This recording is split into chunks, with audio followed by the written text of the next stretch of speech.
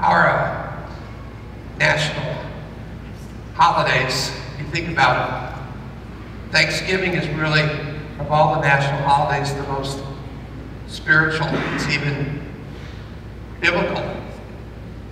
The giving of thanks implies a recipient of that thanks. Who do you suppose that is? Throughout the Old and the New Testaments, we are encouraged, we're even commanded to give thanks to the Lord. Interestingly enough, we are told in the scriptures that the fundamental expression of human sin and unbelief is thanklessness. Now we're going to go through a bunch of scriptures today. Hope you have a Bible or a device, but if not, we'll have it up on the screen. Why? Why have a Bible? Why have a device when you know it's going to be up here on the screen? Let me tell you why. Because the Bible is one. It's not a series of things where you snip things out and put them on your refrigerator or on your bumpers, right? The Word of God is one. And so we're losing this, my friends. We are losing this as we begin just to chop things up and then just have little scriptures that we think that we know and we base everything on this. This is not the way to come at the Word of God. I had no idea I was going to say any of this. Um, we need to be people of the book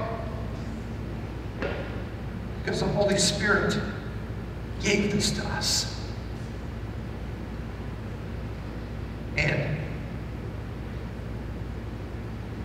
if we are just people who know a couple of scriptures here and there and, and do not, if we are not into the book and seeing it uh, in its context, seeing it in its chapters, in, in the various books of the scripture, if, we, if we're missing all of this, we are going to become so biblically illiterate that we will not be able to stand as believers in a world that turns against us got to have the Word of God in our hearts. We have to get it in our hearts by having it in our lives. All right. Okay. Anyway, it's going to be on the screen if you need it, but um, bring your Bibles. We gave all, here I go again. We gave all the kids in, in our, our children's ministry of a certain age and up, we gave them a Bible because we are just intent on this younger generation having the Word of God in their hands to the place where when they wanting to know or remind themselves of something that's in the Scriptures, they'll be able to find it because they are literate when it comes to the Scriptures. We are losing generation after generation to any kind of knowledge whatsoever of what's in the Word of God.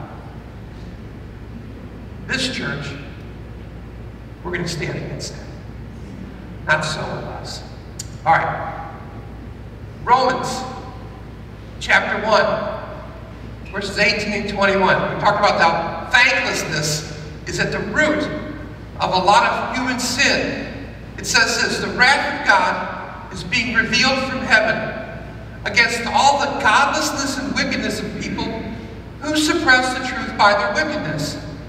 For although they knew God, they neither glorified him as God nor gave thanks to him. But their thinking became futile and their foolish hearts were darkened. Thanklessness is at the root of so much human rebellion and the sin that damages us personally and as a people. In a few minutes, we're going to take together the Lord's Supper. In doing so, we are remembering the death of Jesus, the death of Jesus in our place for our sins on the cross. That's what we're remembering. Because his death is the remedy for the sinfulness and thanklessness that marked our lives when we were in unbelief, before we received him as our Savior and Lord. Now, one of the names for the Lord's Supper is the Eucharist. You've probably heard this, the Eucharist. It's a Greek word that was just brought over into the English, but it literally means giving thanks. Giving thanks. How did giving thanks get connected to the Lord's Supper? Well, in 1 Corinthians chapter 10, verses 16 and 17, listen to what it says.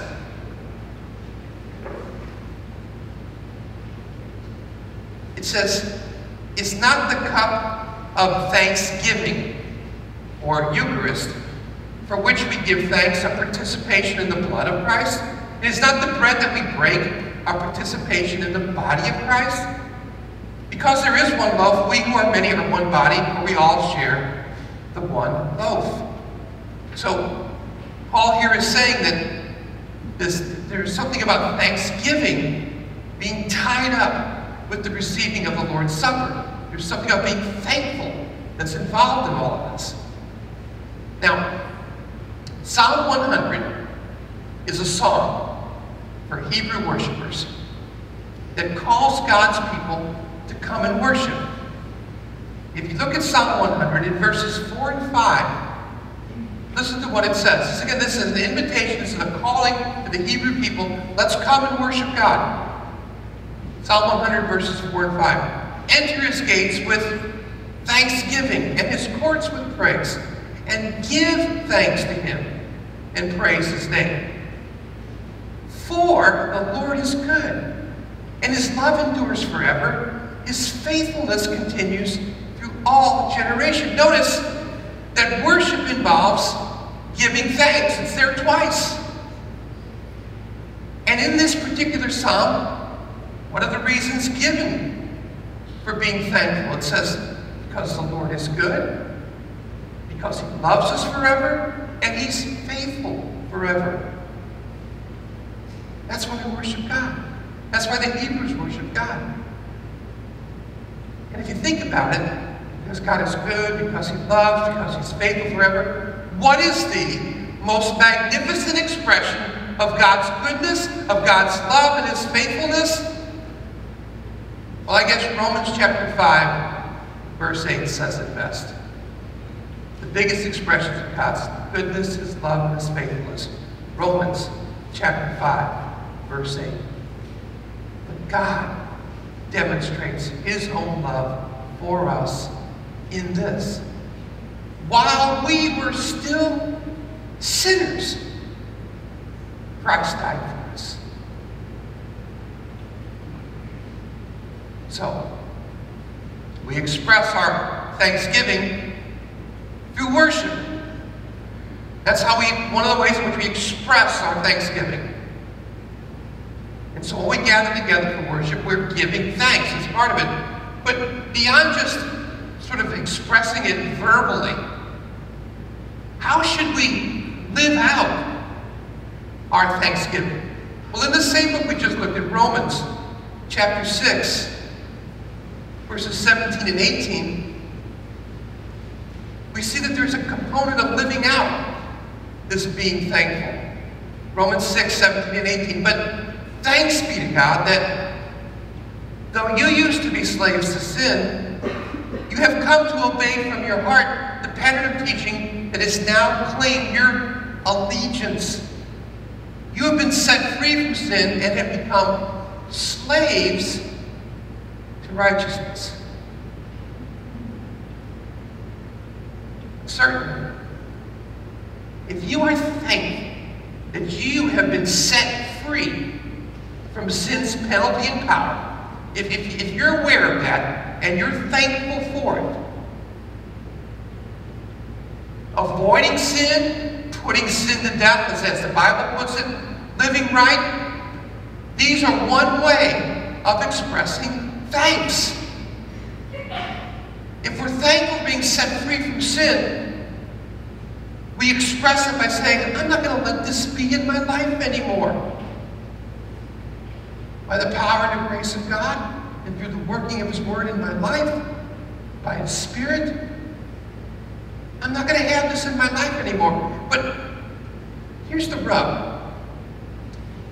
Many limit the Christian life to just that avoiding sin, mortifying sin, confessing and repenting of sin. But that is narrow and incomplete, and it can actually warp you. It's Christianity in the negative. Christianity. Here's what we don't do. Let's consider it another way. Have you heard of the concept of a life debt? A life debt? The concept of life debt is ancient. Basically, it goes this way. You save my life. I pledge lifetime allegiance and or service to you.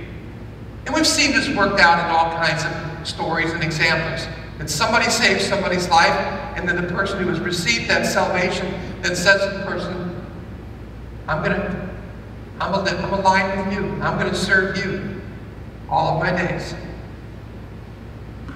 Well, Galatians chapter 2, verse 20 says something really similar to the concept of a life debt. Galatians chapter 2, verse 20, Paul the Apostle is writing here. He says, I have been crucified with Christ, and I no longer. But Christ lives in me, and the life I now live in the body, I live by faith in the Son of God, who loved me and gave himself up for me. Right? You see that? that that's essentially saying, I'm living now out of allegiance to someone else. I am living now in service to someone else. This is an expression of living out thanksgiving. This Paul the Apostle, in almost all of his letters in the New Testament, what is his favorite way of referring to himself? He says it time and time again in all of his letters. He calls himself a servant of God or a servant of Christ Jesus. And he lives his life that way for two reasons. First and foremost, because Jesus is Lord, and he commands this of his followers. He commands us to be his servants. But then secondly, he's so thankful for what God has done for him for his goodness, for his love, for his mercy, for his grace, and his faithfulness. Not some sort of vague, sort of out there, generic kind of way. Paul doesn't see it that way. He sees it very personal and very specific. Listen to his words in 1 Timothy, a letter that Paul wrote, 1 Timothy chapter 1, verses 12 to 14. Look how personal this is. He says, I thank Christ Jesus our Lord, who has given me strength, that he considered me trustworthy, appointing me to his service, even though I was once a blasphemer and a persecutor and a violent man. I was shown mercy because I acted in ignorance and unbelief. The grace of our Lord was poured out on me abundantly, along with the faith and love that are in Christ Jesus. You see this here? His thanks is all tied up with identifiable service. You see the linkage there? Now I'm going to talk to you the people of West Springs Church, my, my family, who I love and cherish. I know you get this thing about Thanksgiving being expressed in worship. I know you get that part. You get that. The other night was a Wednesday night. We had this night of worship here. 14, 15 songs of worship, separated only by some scriptures being read, some, things being shared. And just the heart of worship in the body here was just, it was just wonderful to be a part of it, to experience. We weren't just in a little sing-song kind of thing going on here. Our hearts were being emptied out before God thanksgiving and praise. Heartfelt worship and praise because God is worthy and because you were thankful. So that part, thanksgiving, expressed through worship, you got that good. That uh, avoiding sin, putting sin to death, repenting, well, you're mostly still a pretty rowdy bunch, but we're working on it.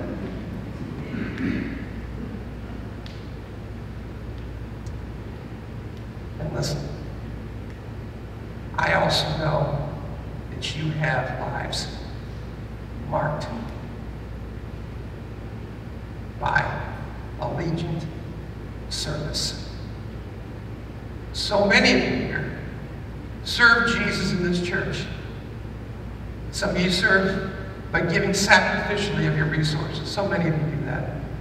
Some of you are deacons, some of you are staff, some of you are ministry leaders, some of you assist those leaders. Many of you serve in our formal ministries here. You provide food, like even today, for Circle of Concern in Valley Park. Many of you care for our children on Sundays. A good number of you sing and play and rehearse on our worship team, where you provide clear sound and video support. Some help in the library, some of you are out there greeting people, making sure that we're physically secure in the building and so on. And then outside the walls here, many of you are serving others, loving and reaching to your neighbors, serving in your schools and communities. A good number of us here at West Springs Church have paid careers that have a significant service component to them. Among us are teachers and school administrators, healthcare workers, law enforcement and corrections workers, people who do social work. But because I am your pastor and you tell me many things about your life, I also know this. Many of you find yourselves sitting on the sidelines on the whole life of service thing. And I suspect that there could possibly be just a few who are sitting on the sidelines because you're holding on too tightly to your schedule and to your time and, and you kind of exempt yourself. But I'm certain, though, that there are a good number of you who are sidelined or tentatively involved because you feel ill-equipped or you deal with doubt that you actually have anything of value that could actually make a difference, never mind having an impact by you serving. See, I think that's what really afflicts a lot of us who find ourselves pretty much on the sidelines of having a life marked by service to Jesus out there in the real world. So, let's go to the scriptures, shall we? We're going to look at Exodus chapter 3 and 4 real quickly, then we're going to close. Let me just summarize where we are when we get to Exodus 3 and 4. Moses has fled Egypt. Grew up there. He had been adopted by Pharaoh's family, and he leaves and abandons Pharaoh's household after he kills this racist Egyptian overlord. He's got to run. And so he lived the next 40 years out of Egypt in the land of Midian. And it's there, after 40 years there, that the Lord appears to him in the burning bush, okay? Kind of familiar with that story, most of us are. The Lord appears to Moses in a burning bush. And when he appears to Moses in the burning bush, he puts him into service. He gives him his career. In Exodus 3, verses 7 and 10, here's the job description. The Lord said, I have indeed seen the misery of my people in Egypt. I have heard them crying out because of their slave drivers, concerned about their suffering. So now go. I am sending you to Pharaoh to bring my people, the Israelites, out of Egypt. Now Moses has been sidelined for 40 years. 40 years he's been on the sidelines. So we see in chapters 3 and 4, God's given him this job, but Moses, he's got some significant reservations and doubts. Chapter 3, verse 11. But Moses said to God, Who am I that I should go to Pharaoh and bring the Israelites out of Egypt? Who am I? Chapter 4, verse 1. Moses answered, What if they do not believe me or listen to me and say, The Lord did not appear to you? Verse 10. Moses said to the Lord, Pardon your servant, Lord. I have never been eloquent, neither in the past nor since you have spoken to your servant. I am slow of speech and tongue. Or we get right down to verse 13. But Moses said, Pardon your servant, Lord. Please send someone else.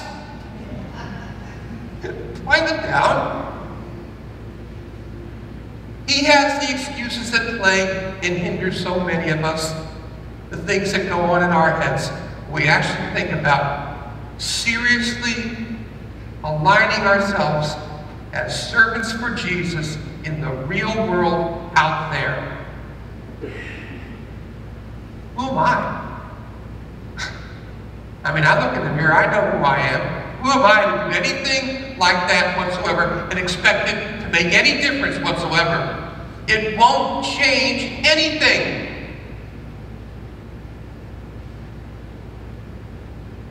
God just used someone else. So we're, we're getting this thing with Moses. We're being honest. We're tracking with Moses right here. Take a look at this.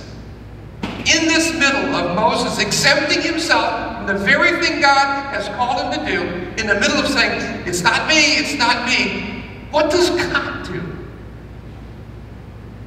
Chapter 4, verse 2. Then the Lord said to him, What is in your hand? A staff, he replied.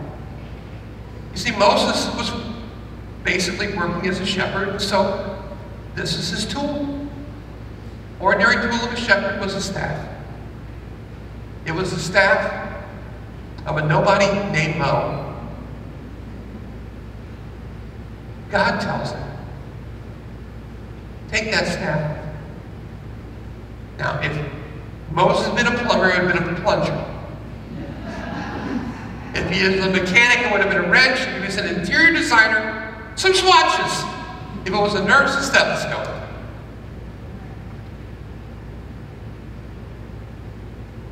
But Moses, Moses, well, he knows. Looking at the staff, he knows what God wants him to do, so he does go. But look at how he goes. Verse 20. So Moses took his wife and his sons, put them on a donkey, and started back to Egypt. And he took the staff of God The staff of Moses now becomes the staff of God. And what does this staff do? Read ahead a little bit, you find out this staff brings hail down upon Egypt.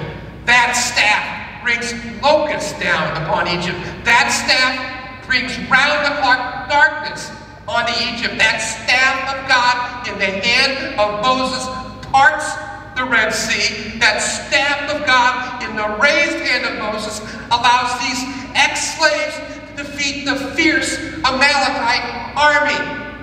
My friends on the sidelines, what is in your hand? What you got? What you got? You got time? Is there time on your hands? Let it be the time of God. You got hands that can do some things. Let him be the hand of God. You got a listening ear? Let it be the ear of God. You got a heart? I know you do. Let it become the heart of God.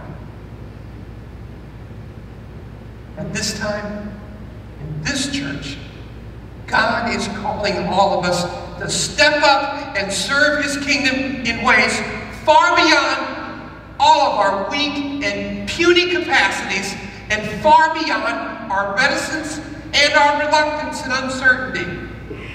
And he's asking us, each of us, what is in your hand? We have a student ministry for high school and junior high school here at West Springs. And we're without a leader right now. Nobody's fault. Things happen. Abilities and opportunities and availabilities all change. And we currently don't have a leader for junior high and senior high ministry here at West Springs. But you know, glory to God. Some of you are stepping up with what you have in your hand.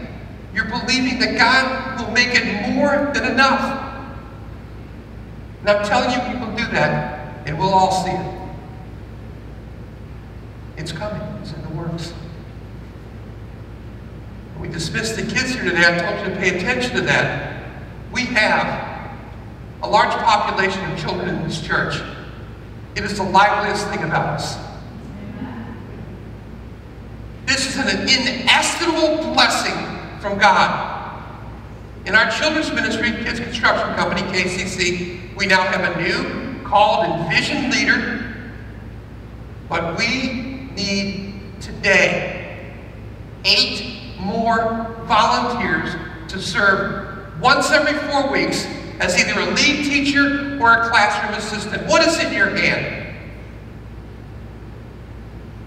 You could lead my alley to Jesus. Somebody better.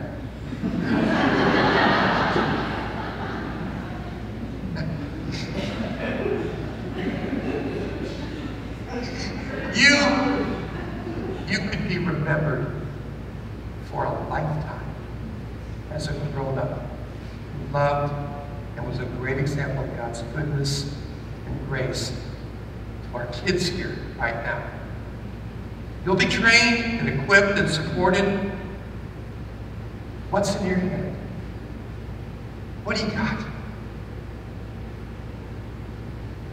You, West Springs Church, out of thankfulness, you worship.